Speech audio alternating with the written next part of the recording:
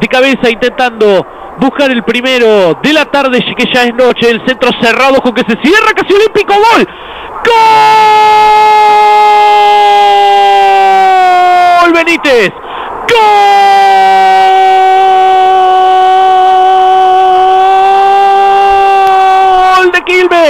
De Quilmes el chino Benítez olímpico.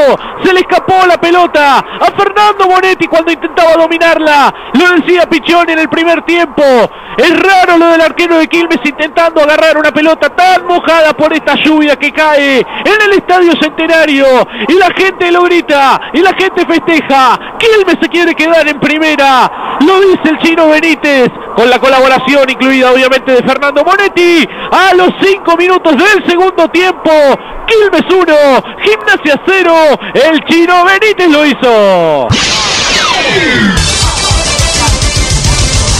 Ay, ay, ay, Monetti, Monetti, Monetti. Lo habíamos dicho, que el arquero quería agarrar todas las pelotas que iban de llovidas, justamente en esta lluvia, las pelotas que iban aéreas, difíciles, las quería agarrar en vez de rechazarlas. Un centro, un córner. La verdad, es gol en contra. El chino Benítez fue el ejecutor, pero es gol en contra porque la pelota no llevaba destino de arco y él se encargó de que entre. Entonces, más gol en contra que esto, creo que no hay en cinco minutos. Monetti 1, Gimnasia 0. Se viene mano a mano, está Telechea, se mete en el área, la picó.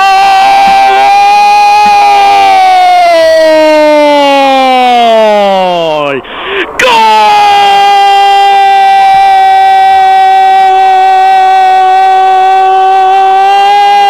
¡Gol de Quilmes! ¡De De primera! ¡De Quilmes de primera! Lo hizo finalmente Chirola Romero. Zafó de la marca del hombre de Gimnasia de La Plata se meten todos a festejar con Matías Pérez Godoy, que finalmente ahora sí me lo dejan ver. El autor de un verdadero golazo para que Quilmes siga con su sueño de quedarse en primera. Le queda el partido.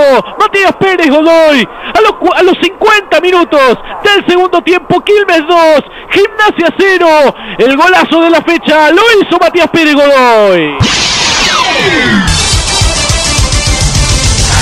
Y decíamos que estaba jugado el todo por el todo. Gimnasia, una pelota encortada bárbara. Por la banda izquierda pasó uno, dos el hombre de gimnasia.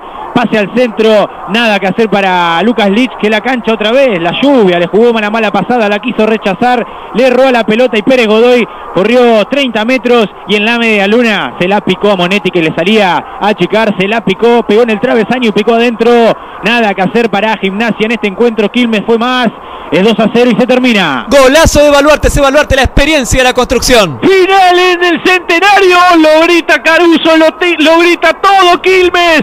Ha ganado el cervecero 2 a 0 frente a Gimnasia. Y Quilmes, y Quilmes es de primera, de primera otro año más el conjunto de Caruso Lombardi. Un monumento para el técnico del cervecero que ha llegado para salvar a su equipo y quedarse otro año más en primera. Gimnasia lo sufre, otra vez se quedó sin la victoria y queda por debajo de Estudiantes de La Con 31 unidades.